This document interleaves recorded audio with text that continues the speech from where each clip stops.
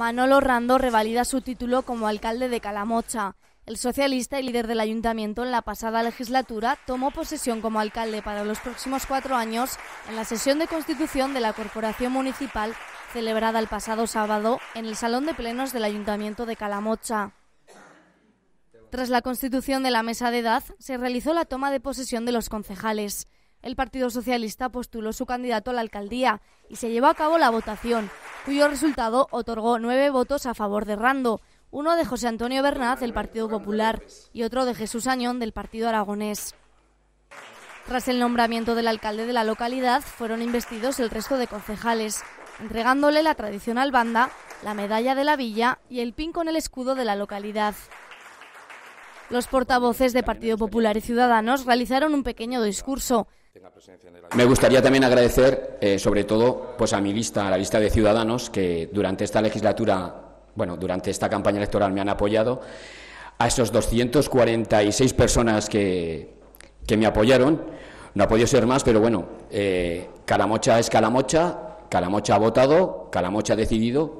En la cual vamos a trabajar para Calamocha siendo una, una oposición constructiva, pero vamos a ser exigentes y recordaremos todos aquellos puntos que, que llevaban en el programa electoral el equipo de gobierno para que así sean realizados. Siendo el último en intervenir, el alcalde de la legislatura 2019-2023. Estoy francamente feliz. ¿eh?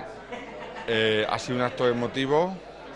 La verdad es que yo creo que se ha conformado un nuevo ayuntamiento eh, con las ilusiones renovadas y lo he dicho anteriormente, yo creo que los vecinos nos han enseñado el camino, que es el del compromiso, el de la atención al ciudadano, el de la cooperación general de cada uno de los vecinos, de cada una de las asociaciones de Calamocha y vamos a poner todo nuestro empeño, todo nuestro esfuerzo en que Calamocha de estos cuatro años siga caminando y yo tengo la fe de que en estos cuatro años Calamocha va a dar grandes pasos como nos ha dado en estos cuatro años anteriores.